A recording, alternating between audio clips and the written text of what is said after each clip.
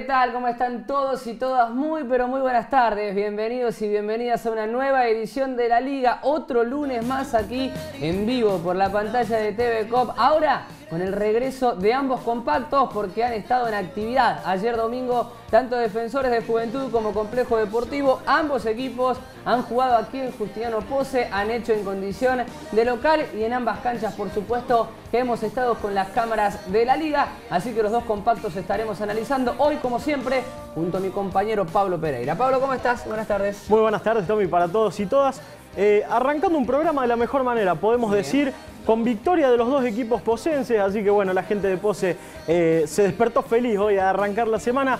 Una victoria contundente de complejo como local y el Defensores que estaba necesitado de puntos logró justamente ganar de local. Se podría decir que han sido dos victorias necesarias. Defensores porque hacía mucho que no ganaba, no lo había hecho de local y si quería clasificar tenía que pensar en la victoria. Y la victoria necesaria por parte de Complejo Deportivo es lo abultada que fue en goles porque de aquí a la recta final del campeonato, a la fecha final del campeonato, los goles van a tomar un papel preponderante en cuanto a las posiciones en la tabla con la cantidad de puntos y, goles a favor. Así que a tener en cuenta eso más adelante. Lo dijo alguna vez Marcelo Gallardo, no tiene ni idea de lo importante que son los goles Complejo hizo 5 ayer en condición de local y es importantísimo a la hora de armar la tabla de posiciones en cuanto a la diferencia de gol. Antes de meternos en los compactos vamos a hacer un agradecimiento a Ferrero Indumentaria, la casa de Justiniano Pose que a partir de hoy nos va a estar eh, vistiendo para cada uno de estos programas, así que el agradecimiento por supuesto y a Juli Vallejo que siempre está ahí asesorándonos. Y ahora sí,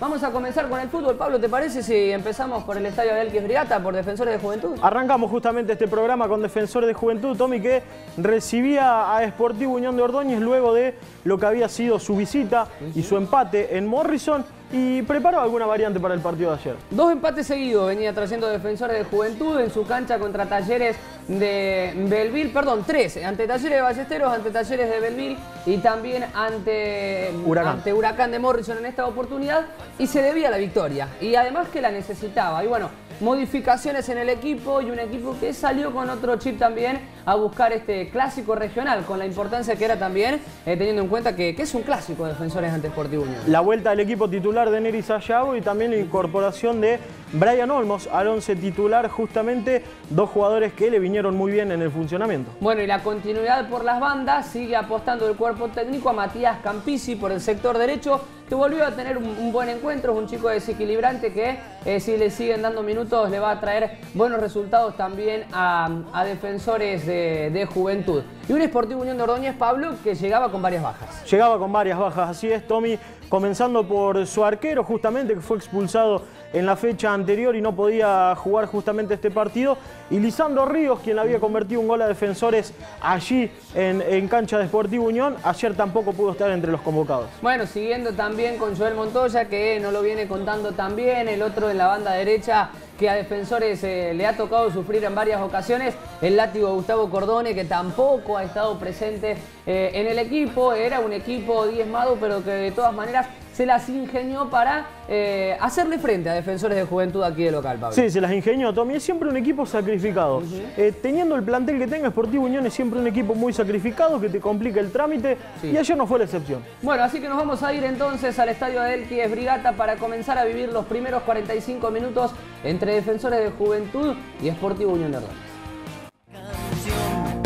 No hace falta que me vendas tu cariño la obsecuencia es denigrarse por un poco de atención. Y me dan ganas de llorar,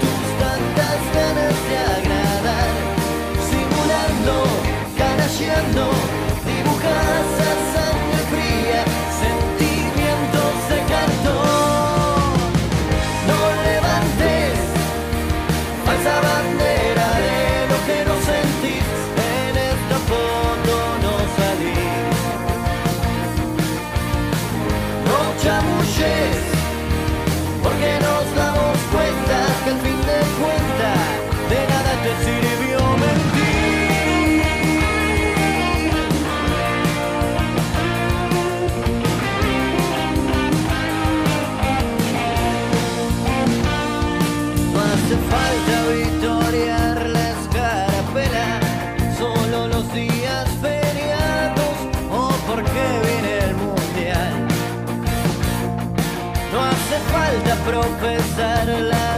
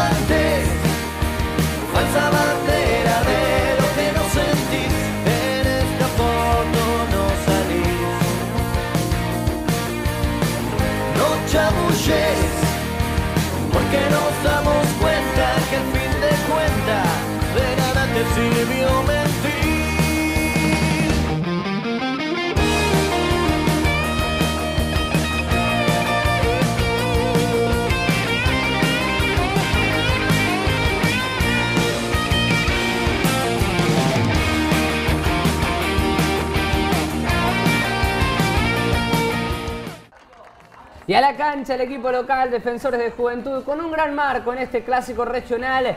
Con Benjamín Amero en el arco, saltaba el rojo de pose, Alberto Pérez en la defensa con la 4, la 2 para Álvaro Vaca, la 6 para Nelly Sayago y la 3 para Benjamín Gratarola. En la mitad de la cancha con la 8, Matías Campisi, la número 5 para Darío Macari, la 7 para Brian Olmos, la 11 para William Álvarez, un poco más adelantado con la 10 Diego Aguirre y la 9 para Alejandro La Torre Salinas que sigue muy pero muy afilado con el arco. Lindo marco de público, Tommy, en el Adelquis Brigata. Mucha gente se llegó también de, la parcialidad de Sportivo Unión cuando ingresaba la terna arbitral. Lucas Vidal, el árbitro principal. Daniel Rojas en línea número uno. En línea número dos, Gastón Condori. Cuando aparecía también el equipo de Pablo Di Tomaso, aparecía el lagarto y lo hacía con Tomás Mesiano en el arco. En la defensa con la número 4, Santiago Pavone. La 2 para Luciano Villafañe. La 6 para Luciano Petruzzi. La 3 para Julián Montoya. En la mitad de la cancha con la 8, Joan Mercado. La 5 para Franco Valladares. La 10 para Lautaro Chioso. Y la número 11 para Pablo Montenegro. En la delantera con la número 7, Franco Rodríguez. Y la 9 para el tanque, Walter Herrera. ¿Cuánta gente que trajo Ordóñez, Pablo? Sí, trajo la banda, todo. Lindo recibimiento de la gente de Sportivo Unión. Bueno, hermoso recibimiento también, una multitud que se vino desde Ordóñez para acompañar este partido. Los experimentados capitanes por lado, el 9 Walter Herrera, el 2, el, perdón, el 6 en defensores Neri Sayago y el minuto de silencio en referencia eh, también a la pérdida de un eh, jugador de defensores de juventud hace un fin de semana atrás. Le mandamos un abrazo grande a toda la familia de Sergio Cáceres. eh, fallecido en un accidente automovilístico. Desde aquí, por supuesto, un abrazo grande y todas las fuerzas para la familia en este difícil momento. Así es, Tommy, unirme también y mandarle la fuerza justamente a los familiares y, amigos de Sergio cuando el árbitro ya le daba inicio justamente a este partido. Bueno, y las banderas también a media astas en este inicio de partido, allí las vemos eh, justamente por, por esta ocasión. Aquí vamos a ver ya el primer gol del partido. Vemos este córner, la pelota para William Álvarez, quiere enviar el centro y pega la pelota en la mano de Pablo Montenegro. Y de este tiro libre, Pablo, Defensores va a abrir el marcador. Con un lindo eh, tiro cerrado de William Álvarez, creo yo, una dificultosa respuesta del arquero mesiano que podría haber hecho algo más. La pelota luego del rebote le queda a Pérez que la mete adentro para Aguirre. Definición goleadora del Yula que a los dos minutos ponía a ganar a Defensores por 1 a 0. Da rebote el arquero mesiano hacia la derecha. Allí llega Alberto Pérez a hacer que esta pelota no abandone el campo de juego. Mete un buen centro atrás y, le empuja el goleador Diego Aguirre también para poner el 1 a 0 en apenas 2 minutos con 20 justamente de, de este partido. Un Diego Aguirre que en el partido anterior robó un gol. Acá lo hizo bien, Tommy. Y entró, ¿no? Entró, ¿no? Eh, creo que entró, bueno, no, no le vamos a decir que robó dos goles seguidos. Entró así que gol de Diego Aguirre. Bueno, gol de Diego Aguirre, sí, la pelota entra, entra toda. Ahí lo vamos a ver entonces nuevamente. Es Luciano Petruzzi el que intenta en esta ocasión sacarla, pero como se puede ver en las imágenes, la pelota ya había ingresado. Obviamente que la respuesta de cómo lo ven los jugadores de Deportivo Unión de Ordóñez te da la certeza de que la pelota ingresó toda porque obviamente nadie, nadie ha reclamado y es evidente que el gol de defensores es válido. Y va a llegar una polémica, Tommy, que vamos a ver en imágenes que no es polémica, pero En la cancha la pidió Defensores, pedían penal sobre Campisi. No me parecía, me parecía así un forcejeo eh, propio del fútbol, un, forcejeo propio del partido. La veo, la veo en las imágenes y me sigue pareciendo lo mismo. No hay penal de Montenegro sobre Campisi que ante el contacto mínimo se desestabiliza y no puede definir. Y termina en el piso justamente el 8 de defensores de Juventud que no podía definir cómodo en esta y terminaba en el piso. Tiro de esquina para Sportivo Unión que iba en busca del empate, Tommy. Bueno, defensores aquí todavía seguía siendo un poquito más que Sportivo Unión de Ordóñez. En este hombre comenzaba a quitar y a sacar los contragolpes. Era Brian Olmos el que estaba bien en estos primeros minutos y Defensores va a llegar con esta habilitación de Salinas para Diego Aguirre que si tenía una marcha más, tenía la definición para el segundo tanto, bien Tomás Mesiano en esta. Bien Tomás Mesiano que sale a achicar y se queda con esta pelota. Hay un gran pase de Salinas también, Tommy, para habilitar justamente a Diego Aguirre que no llegaba a esta pelota. Hay un gran partido de Salinas, Pablo. Más allá de convertir, está haciendo muy bien el,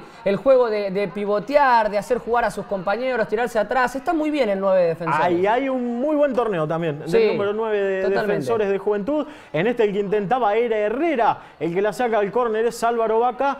Llegó justo a auxiliar en esta Álvaro Vaca porque era peligrosa. Era muy peligrosa esta jugada, por supuesto. 19 minutos y otra vez se viene Sportivo Unión hacia adelante. Fortísima la falta de Matías Campisi sobre Joan Mercado y allí lo veíamos a Joan revolcarse del dolor. Amarilla sancionaba el árbitro del encuentro a Matías Campisi y Lucas Vidal. Me parece muy bien la decisión del árbitro eh, con la amarilla para Campisi, ¿no? Amarilla para el, jugador de defensor de juventud, el número 8, Mati Campisi, sumando su segunda titularidad en este torneo y le entraba muy fuerte a Joan Mercado, Tommy en esta. Bueno, y aquí vamos a llegar ya a la jugada del gol del empate de Sportivo Unión de Ordóñez que crecía por la derecha con Franco Rodríguez, la va a dejar adentro para Chioso. Chioso que amaga en la primera, la frena pasa de largo Neri Yayago. Bombazo arriba de Tito Amero, nada que hacer para el arquero de Defensores de Juventud, incluso con un desvío previo. Golazo de Chioso que le vuelve a convertir a defensores de juventud. Tercer gol en dos partidos jugados en este campeonato contra los pechos.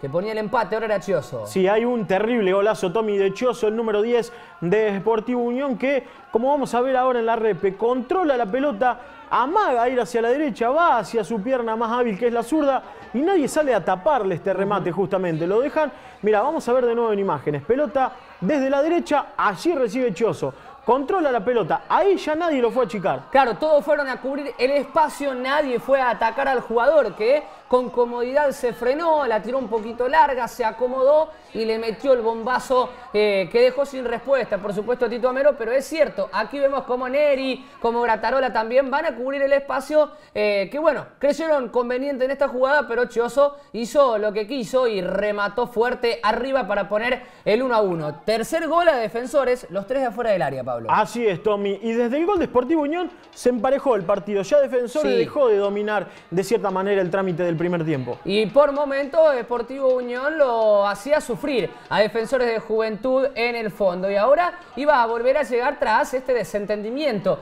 en el fondo que terminó por resolver en dos tiempos Tito Amero. Salía Tito Amero justamente a atorar esta, a achicar este ataque de Deportivo Unión. Lo cubren y no se terminan de entender bien, pero controla bien la pelota el arquero de, defensores. Y vuelve a llegar ahora con otra advertencia. Comodísimo para rematar Herrera. Por arriba del travesaño le enviaba, pero lo que queríamos destacar con esta jugada también es el tiempo que le daba a defensores para que Sportivo Unión pueda rematar. Se vio en varias jugadas. Y en esta busca el segundo palo del arco de Amero, el remate de Herrera que se iba alto, pero avisaba nuevamente Sportivo Unión. Y ahora se viene una clarísima para defensores de juventud. Viene Álvarez con el control que se deja solito habilitado para pegarle. Cuando le pega, ataja muy bien Tomás Mesiano. Le queda el rebote a Salinas que insólitamente el 9 defensores le erra la patada. Me parece, Pablo, que era más fácil con la cabeza. En esta más teniendo la altura de Salinas, pero decidió ir con el pie y le erró. Es cierto, Tommy. Hay primero una, una gran jugada de William Álvarez. Se perfila porque estaba de espalda, gira y le queda el remate justamente al arco de Mesiano. Hay un buen manotazo del arquero de Sportivo Unión y luego que no puede empujarle es Alejandro Salinas. Hay que tener en cuenta que da el sol desde donde estaba Salinas, pero era, era clarísima, Tommy, mirá. Sí, Es que queda en la línea del área, era ir con la cabeza y meterse adentro de la- del arco con pelota y todo, pero decidió ir con el pie, quizá eh, no tenía referencia del poste y no lo quiso chocar, pero en esta ocasión se lo perdió Salinas, que después se va a reivindicar de todas maneras. Sí, seguramente, Tommy. Y en esta, mirá Polémica, qué ¿eh? pelotón le meten a Herrera. Hay un gran pase de tres dedos, Tommy. No llegué a ver bien quién fue. Joan pero- Mercado. Joan Mercado. Terrible pase le pone. Bueno, y vamos a ver porque esta fue la primera polémica del partido. Gastón Condori en línea número 2, a quien vemos en pantalla, sancionada posición adelantada. Y vamos a ver, Pablo, en mi opinión personal, confusión. La primera del partido para en línea es Álvaro Vaca, quien si trazamos líneas finas habilita al jugador de Sportivo Unión de Ordóñez en el fondo. Me parece habilitado Herrera en esta que iba a quedar mano a mano con Tito Amero. Y de todas maneras, Condori en el partido tuvo varias de estas, Tommy. Así que vamos, vamos a ver las que vienen porque hubo varias polémicas de él. Bueno, y ahora volví a llegar defensores con Diego Aguirre, pero es cierto, así que vamos a guardarnos alguna más para el segundo tiempo, porque en esta, en mi opinión personal, es muy finita, ¿eh? decide en un rango de tiempo muy cortito, esta es muy finita, pero termina perjudicando, en mi opinión, Sportivo Unión de Ordóñez porque Herrera estaba habilitado. Pero va a haber más que no son finitas. ¿eh? Y en 37 y medio el que avisaba era defensores con un centro desde la derecha. Cabezazo de Diego Aguirre, pelota que se iba alta. Y ahora el que va a responder Tommy en 40 es Sportivo Unión. Y otra vez, otra polémica. Otra polémica más, llegaba Herrera con el centro adentro para la definición de Franco Rodríguez. En esta le damos la derecha. A línea número 2, Gastón Condori. Vemos que la jugada no nos va a quedar en el momento preciso para poder frenarla, pero ya cuando está de arrancada Herrera, sale un pasito por eh, sobre Nery Sayago. Aquí vemos, sale ya adelantado eh, Herrera. En la cancha la recordamos y nos había parecido posición adelantada. Así que en esta sí, Herrera estaba un pasito adelantado y le damos la derecha a Condori. De todas maneras, el reclamo obviamente del banco de Sportivo Unión que se paraba a reclamarle que no a Condori, pero Condori ya había levantado la bandera. Finalizando ya esta primera parte, Tommy, vamos a ver una amonestación y es una dura falta ante, ante Mati que ha recibido de lo lindo ayer, Tommy, le han pegado mucho. Le pegaron por todos lados a Mati Campisi. Esta por lo menos queda en imágenes porque se gana la amonestación. Julián Montoya, que es a quien le ha tocado atenderlo en más ocasiones porque, claro, iba por la banda izquierda, atacaba por la banda derecha de Defensores, izquierda de Sportivo Unión. Es cierto, atacaba justo por donde estaba Montoya, que es, era amonestado en este cierre ya del primer tiempo.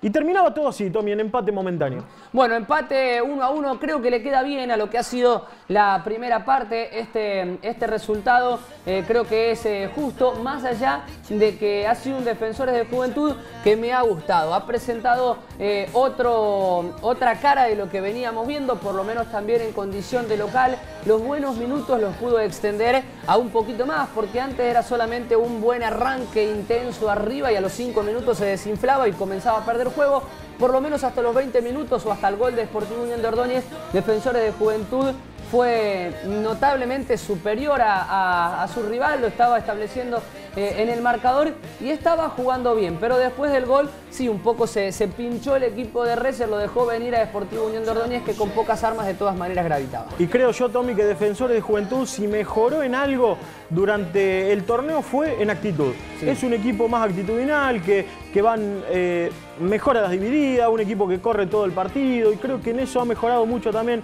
Defensores no deja de tener un buen juego colectivo, me parece que en lo colectivo fue más que Sportivo Unión, que por ahí dependía de alguna individualidad de Chioso, de Joan Mercado, de jugadores que individualmente marcan la diferencia. En defensores, no sé si tiene esos jugadores que individualmente marcan la diferencia, pero tenía mejor juego colectivo. Bueno, algo de lo que quiero destacar del primer tiempo del partido de ayer es el posicionamiento de la mitad de la cancha que a defensores quizás le da otra cara. Al abrir a la derecha a Matías Campisi suelta al medio a colaborar con la mitad de la cancha a Brian Olmos, que es un jugador muy aguerrido, eh, que ayer ha quitado muchísimo, va a todas como si fuera la última, eso muchas veces le cuesta la amarilla, pero ayer a defensores de juventud le, le dio var- varias salidas rápidas con espacios por quitar rápido en la mitad eh, de la cancha. Es eh, un buen sostén de la mitad de la cancha Brian Olmos y por ahí tirado a la derecha como volante lo pierde un poco defensores. Matías Campisi le da desborde y lo ubica en una posición que creo yo a Brian Olmos le sienta, eh, le sienta muy cómoda y ayer, por lo menos hasta los 20 minutos, allí el Bricu en lo personal me ha gustado. Y hay un acierto ahí de Pablo Reser, Tommy, Sí. porque tiene distintas variantes. en ese lugar de la cancha. Está el Mija Guevara en el banco de suplentes. Está Laureano Loco, quien acompañaba siempre a Darío Macari, pero eh, se la jugó, puso al al Brick Wolmos a acompañar a Darío Macari y le dio resultado ayer. Bueno, y William Álvarez por izquierda, que ayer, en cuanto a lo que veníamos viendo, bajó un poquito su rendimiento, quizá tenga que ver con una dolencia eh, que también lo hace salir en el segundo tiempo. Nos vamos a ir a la segunda parte, pero antes eh, se va a venir Laureano Loco, ahora por eh, una lesión que ha tenido defensores de juventud en el partido. lo vamos a ver entrar ahora por el sector derecho, reemplazando a Campisi, y esto es algo de lo que advertimos, porque no fue Brian Olmos a jugar por la derecha, sino que mantuvo tuvo su posición en la mitad de la cancha y Laureano Loco, quien habitualmente juega por adentro, fue a jugar por afuera. Como volante por la derecha entró justamente Laureano Loco, así que si te parece, Tommy, nos vamos ya al segundo tiempo. Ya estamos, y ahí lo vemos a Laureano Loco calentando para reemplazar a Matías Campisi, que salió con una molestia, Pablo. Con una molestia salía Matías Campisi, que decíamos en el primer tiempo que había recibido bastantes patadas de los jugadores de Sportivo Unión y ahora era defensores con el flaco Salinas quien eh, ponía en marcha este segundo tiempo. Por lo menos la molestia de Campisi, donde se quejaba, era en la cadera. Así que esperemos que, esté bien eh, Matías y que Defensores le pueda tener para el próximo partido. Rápidamente, Pablo, se va a complicar Franco Valladares en Esportivo Unión de Ordóñez y cuando el 5 la pierde, siempre lo que se vienen son problemas. Álvarez para Salinas, el arquero que sale a cualquier parte. Salinas por arriba, está efectivo el 9, está con una puntería letal el 9 de defensores de Juventud. Alejandro Latorre Salinas que ponía el 2 a 1 rápidamente para los pechos colorados en condición de local. Y al igual que en el primer tiempo, en los primeros minutos defensores que encuentra la ventaja en esta presión al 5 que era Franco Valladares, roban la pelota, le meten una gran habilitación a Alejandro Salinas y este por arriba del arquero que salía lejos a achicar Tommy, allí vamos a ver Y mirá quién es quien quita, Pablo, es Brian Olmos que le quita a Valladares. Fue mucho encima de Valladares, Brian Todo el tiempo. Se sacaron chispas, ¿eh? Sí, sí, sí, porque son dos eh, jugadores que le gusta esto. Creo que el duelo ahí lo ganó Brian Olmos, que no lo dejó jugar mucho a Franco Valladares, se notó porque Sportivo Unión de Ordóñez casi no tuvo muchos juegos, si no la agarraba Mercado Hichoso. Y aquí quita Olmos, aprovecha Álvarez que mete una habilitación espectacular al espacio el arquero tiene gran responsabilidad en el gol porque le soluciona todo un Salinas que de todas maneras, Pablo, la tenés que invocar desde ahí con el arquero saliéndote y adentro la metió nueve defensores que ponía a ganar nuevamente a los pechos. Y lo que decíamos del flaco, está teniendo un gran campeonato. Salinas que en esta define por arriba del arquero que salía lejos y pone en ventaja a defensores de juventud. Valladares amonestado ahora en tres minutos del segundo tiempo. Castigaba alto ahora Franco Valladares porque había dejado desprotegida la zona, tenía que cortar con falta y que Ordóñez se pueda acomodarse, ganaba la tarjeta amarilla, el 5 del Lagarto, ex defensores de juventud, por si algún desprevenido se le pasa. Así es, Tommy, de muchos años jugando aquí en defensores de, juventud y ahora mira la amarilla Sonsa que se va a ganar a Loco. Son muy evitables estas amarillas. Hay una de a Loco ahora y vamos a ver la de Brian Olmos después, un jugador que juega tanto la fricción como Brian Olmos, que se gane la amarilla por tirar lejos la pelota, me parece una soncera, pero bueno, son cosas a corregir, ¿no? Ni hablar, Tommy, son cosas a corregir, son amarillas también que te pueden limitar a lo que es tu juego por lo que reste de partido. Y tiro libre para defensores ahora que iba al ataque también. Y la polémica del segundo tiempo. Defensores conseguía ampliar el marcador, se ponía 3 a 1, cómodo, con un gran pase nuevamente de William Álvarez para que entre Alberto Pérez. Y aquí lo vamos a marcar a Alberto Pérez para que no se les escape. Miren por el fondo ahora el redondito rojo que les vamos a ubicar. Es insólita la posición adelantada que cobra eh, Gastón Cóndor y en línea número 12. Eh. Está por lo menos dos metros habilitado Alberto Pérez por el segundo palo. Pablo. Eh, y ya es raro que cobre de estas posiciones adelantadas. No sé si es eh, distracción, desconcentración, falta de interpretación, pero a mí me resulta muy extraño que un línea eh, que esté en primera división cobre una posición, una posición adelantada de este tipo, la verdad. No, y es insólita, Tommy, porque la verdad que en línea tenía buena visión de lo que era la jugada, obviamente, y arrancaba desde muy atrás. Es insólito. Es, que arrancaba totalmente de atrás. Era alguien que no estaba adelantado, era Alberto Pérez, porque arrancaba totalmente de atrás. Creo que levanta la banderita por, por una duda que le, le apareció a él y la levanta. Y aquí vamos a tener otra más pegadita casi. Era nuevamente el 3 a 1 de defensores. Habilitado Salinas, lo vamos a ver nuevamente con el redondel rojo porque es Petrucci por el fondo el que habilita. Ahora lo vamos a ver. Allá Petrucci, al lado de línea Condori, está habilitando a todo el mundo porque queda en la línea, en la salida. Y está habilitado Salinas. Y nuevamente es Gastón Condori el que cobra una posición adelantada inexistente. Y antes de esta polémica, Tommy, ya vemos en imágenes a Alessandroni que ingresaba en lugar de William Álvarez. Y ahora otra polémica que no existía. No, No. no- no había fuera de juego, estaba claro. Estaba clarísimo, no había ningún fuera de juego de Salinas, que además Pablo definía espectacular, era el 3 a 1 de defensores. Y a esta altura, defensores de juventud ya había convertido dos goles más, podría haber jugado, podría haber jugado más tranquilo el segundo tiempo, pero va a terminar eh, sufriendo por un poco las injusticias de los árbitros y un poco también eh, el hecho de no tener puntería. Tiro libre de Choso, pelota que se iba por arriba del travesaño y ahora la amarilla de la cual les hablábamos. La onza amarilla de Brian Olmos que tira la pelota lejos. Tira la pelota lejos, obviamente viene el árbitro, amarilla para el hombre de defensores de juventud, que luego va a tener que terminar saliendo también por esta eh, tarjeta. Cambios en Sportivo Unión Pablo, que quería ir a buscar el empate, claro. Gastón el Patito Rodríguez a la cancha en reemplazo del número 9 Walter Herrera y otro que se venía a la cancha también en Sportivo Unión era el número 15 Lucas Pola de Montegüey a reemplazar al 11 Pablo Montenegro. Bueno, los dos jugadores ofensivos a la cancha, quedaba casi con un 4-3-3 muy evidente el equipo de Di Tomaso que sacaba al mediocampista Montenegro para poner un mediocampista ofensivo como el Patito Rodríguez y luego Pola arriba a luchar en la delantera, puesto por, puerto, puesto por puesto por el capitán Herrera. Alessandroni con la pelota recorta de la, de, de la izquierda hacia adentro, saca el remate con su pierna hábil, que es la pierna derecha, remate que se va pegado al palo derecho, llegaba con poca potencia ese remate, Sí. pero avisó defensores. Un detalle, Pablo, antes de ir a, Pablo, antes de ir a los cambios. Entró bien Alessandroni, entró animado, se animó a encarar, desequilibrante. Y en esta está bien que la haya pegado. Más allá de que tenía pase, me parece que la mejor opción era pegarle al arco. Totalmente, Tommy ingresó bien ayer con ganas, pedía la pelota, se hacía cargo, cambios en defensores, el Mija Guevara a la cancha y también Lucas Salerno. Bueno, y aquí antes decíamos que entró bien Alessandroni, quien no entró bien a mi parecer ha sido justamente Salerno, que ha tenido algunas también allí para, para liquidarlo, algunas imprecisiones en la mitad de la cancha. En esta hace que le saquen amarilla justamente a Santino Pavone. En la primera le pegaban al bicho Salerno que, Tommy, me voy a unir a lo que decías, entró un poco acelerado, ¿no? Daba la sensación que por ahí, si se tomaba algún tiempo más para, para decidir en las jugadas que, que tuvo, que, que él intervino, por ahí lo podría haber solucionado de buena manera. Sí, es cierto, es cierto, estamos hablando justamente de, de Salerno que sumó imprecisiones ahí en la mitad de la cancha. Álvaro Vaca salía con una molestia, atención defensores de juventud, y se da un regreso, una mala noticia por una buena noticia en este caso. Y volvía justamente a las canchas el número 13, Tomás Bermúdez, quien se había lesionado ante Talleres de Ballesteros y en esta ingresa a reemplazar a, a Vaca que se iba amonestado. Otro amonestado, el ex defensores de juventud, Luciano Petruzzi, este en Sportivo Unión de Ordóñez, cuando promediábamos ya 33 minutos de este segundo tiempo. 33 teníamos justamente ya de este segundo tiempo. El que va a avisar nuevamente es Defensores de Juventud. Jugada que comienza por la derecha. Es Salerno quien toca al medio con el Mija Guevara. El Mija para a loco, a loco y una gran habilitación para Alessandroni. Se va a jugar la individual. Otra vez hacia adentro, muy bien. El remate con pierna derecha que se va alto, pero otra vez avisaba Tommy. Bien, pero esto es lo que pedíamos anteriormente, Pablo, que Alessandroni con la velocidad y la potencia que tiene se anima a encarar. Aquí lo hizo metiéndose para adentro, el remate un poquito alto, que es algo que puede pasar. Es cierto, Tommy lo hizo de buena manera Alessandroni a la jugada previa.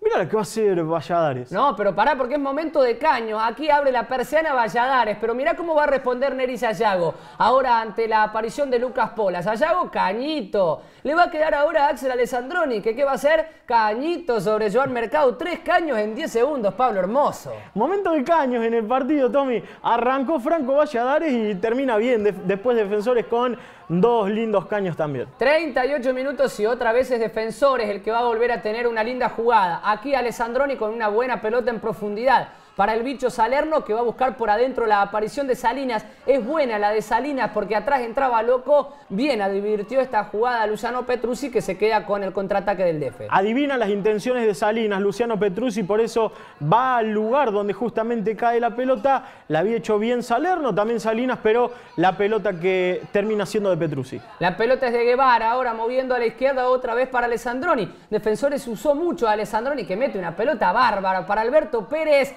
Increíble lo que se pierde el Beto llegando por sorpresa por la derecha. El control es espectacular, pero después le quiso pegar como con desprecio a la pelota en vez de definir fuerte para poder eh, eh, cerrar el partido. Mirá cómo le quiere pegar el Beto, así como una cachetada a la pelota y se pierde lo que era eh, liquidar el partido para defensores. Y hay un gran cambio de frente de Alessandroni, lo que mencionabas, Tommy, que habilita justamente a Alberto Pérez. No la llega a puntear el Beto, le queda larga la pelota cuando quiere definir, podría haber liquidado el partido. Y en 40 amonestado Tomás Bermúdez en Defensores de Juventud y estos ya eran los minutos finales de partido. Bueno, y ya estábamos llegando al final que cerraba justamente en estos 50 minutos cuando Defensores va a tener otra más. Ahora es el bicho Salerno el que va a volver a tener otra más y esta lo va a errar con la misma jugada que le dio el 2 a 1 a Defensores. El arquero saliendo muy lejos, eh, que era Tomás Mesiano, pero el que no estuvo efectivo en esta oportunidad ha sido el bicho Salerno que se pierde la oportunidad de liquidar el partido. Ahora otra vez Defensores con Axel Alessandroni metiendo adentro para loco, cerraba bien Valladares y aquí sí, el final del partido. El final del partido con el derechazo de Mesiano. El árbitro del partido dice que no había tiempo para más. Defensores en condición de local eh, mirá el desahogo de Rezer también, mirando al banco de Sportivo Unión. Sí. Eh, hubo intercambio de palabras durante todo el partido entre los bancos de suplentes. Es que sí, se, todo empezó, Pablo, te acordás en la tarjeta amarilla de Campisi, pero pará, porque aquí eh, lo que va a pasar justamente es que termina todo con tumulto. Si bien ahí parece estar todo acomodado, todo tranquilo, luego ahí lo, vemos a Enrique García, que no puede ser, no es sostenido por eh, Pablo Di Tomaso, y las corridas que muestran que hacia ese sector comenzaban los, los tumultos. Algunas trompadas que han volado y demás, veremos qué eh, informa el árbitro después de- del partido Lucas Vidal pero no terminó lindo el, clásico, más allá de que adentro eh, el partido ha sido lindo, ha sido entretenido, ha tenido muchísimo para, para analizar, no terminó lindo y por supuesto que aquí lo repudiamos y lo queremos olvidar. Siendo un poco al partido, Pablo, me ha gustado y mucho Defensores de Juventud porque más allá de que ganó por la mínima diferencia, lo pudo haber hecho por más, pero mostró algo que le venía faltando, carácter para terminar los partidos. No fue un Defensores que se pinchó, que se desinfló y que se terminó defendiendo. Todo lo contrario, sino que siguió atacando y buscando liquidar el partido hasta el último momento. Totalmente, Tommy, voy a coincidir también con vos porque hubo un gran defensores ayer. eh, tanto en el partido anterior como en este da la sensación que se amolda a lo que juegan los rivales también y que le trata de complicarle justamente el trámite del partido a los rivales.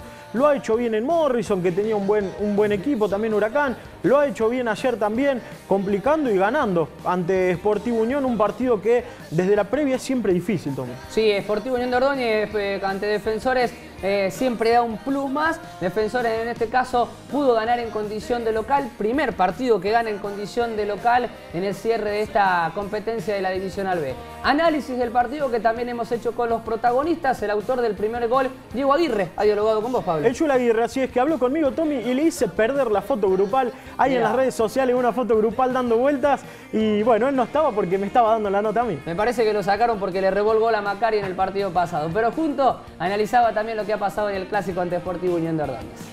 Un partido muy duro, pero por suerte lo pudimos sacar adelante, por momentos con buen juego y después cuando se tuvo que meter, eh, se metió y por suerte quedaron los tres puntos acá.